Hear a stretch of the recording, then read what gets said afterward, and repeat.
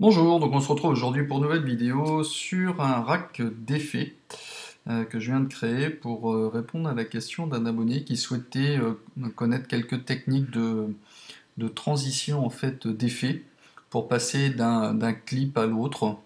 Donc bah, je vous propose de, de, vous faire une petite démonstration rapide et de vous montrer comment ça fonctionne. Alors dans le principe, on va utiliser ce bouton pour faire une transition soit d'effet, soit de passage d'un clip à l'autre. On écoute.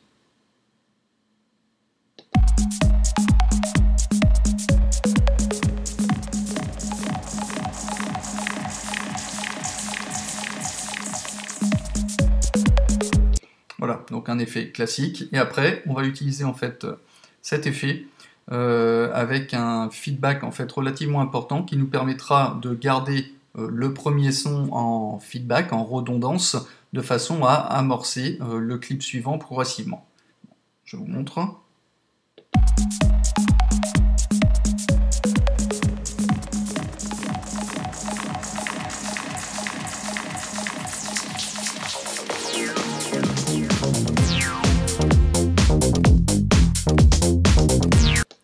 Etc.. Donc vous voyez, on est passé de l'un à l'autre de façon très fluide. Alors, comment ça fonctionne? Alors, on va, recréer ceci, on va le supprimer.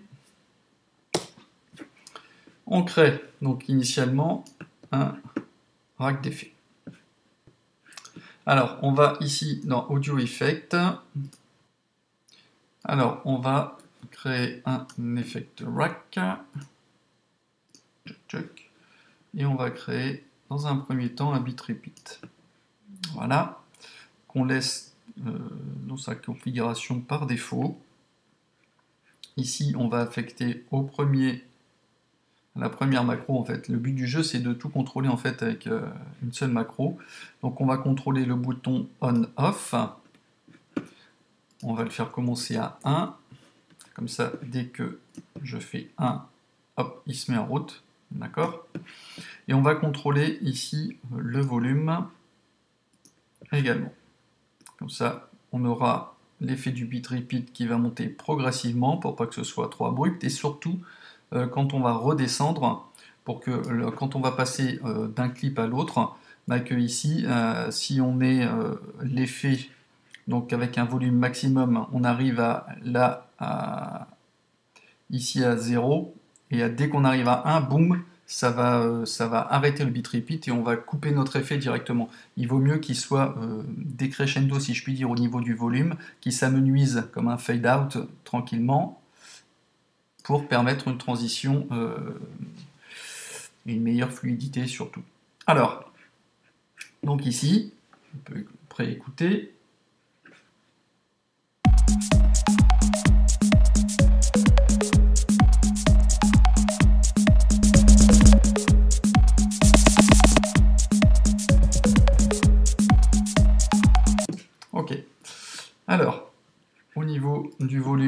On laisse moins l'infini à 6 dB.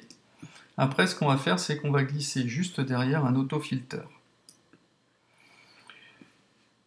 Alors, l'autofilter, évidemment, vous commencez à connaître son principe. je vais inverser la courbe. On va affecter un macro 1 la fréquence et la résonance ici. Et donc là, on va aller voir au niveau et euh, aussi euh, le bouton on-off. Alors, le bouton on-off auto-filter, on va lui le faire commencer à 1. Ici, au niveau euh, de la fréquence, on part de 26 et là, on va aller un peu moins, on va aller jusqu'à 15 ou 14, euh, ouais, 14, 5, de façon à ce qu'on puisse avoir quand même du résiduel, parce que si on coupe trop, à la fin, quand on aura notre bouton au maximum, il nous restera plus de son. Donc euh, je laisse jusqu'à 14,6 euh, Hz, de façon à ce qu'on puisse avoir quand même du son. Et ici, là, je vais baisser la résonance, je vais la baisser jusqu'à 2 à peu près, pour pas que ça aille trop non plus. Ah, sinon, vous, cliquez dessus, vous mettez 2, ça sera aussi au plus rapide. Voilà, donc euh, ça nous donne ça.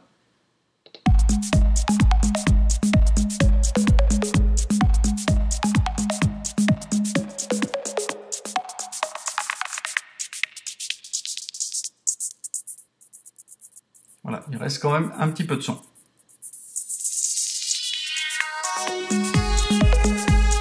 Alors maintenant, ce qu'on va apporter, c'est on va porter, on va créer un, effet ping-pong avec un ping-pong delay juste derrière, de façon à jouer avec le feedback, de façon à ce que ce qui reste au niveau du son puisse être redondant. Alors là, je vais ouvrir un maximum ici la, largeur de bande. On va le mettre sur euh, une division de temps à 4. Et là, je vais affecter tout simplement, pareil, à la macro, une le dry wet et le feedback, donc à ses valeurs maximales, ce qui nous donne ça.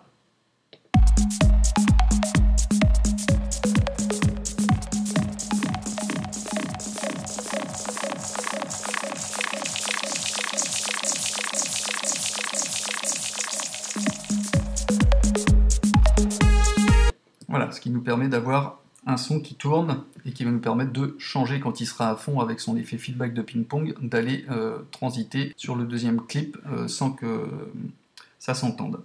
Et ensuite, on va ajouter donc une reverb, comme ça, juste derrière.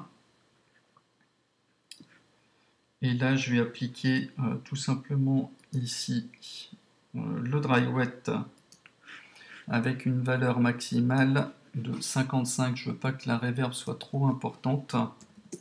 Et c'est juste pour que le résiduel soit, soit plus fluide au niveau de, euh, de l'effet, surtout que euh, quand on utilise l'autofilter, on a des sons, donc euh, bien évidemment quand on est au maximum, qui sont plus scintillants, plus aigus, et la reverb va apporter un peu plus de douceur.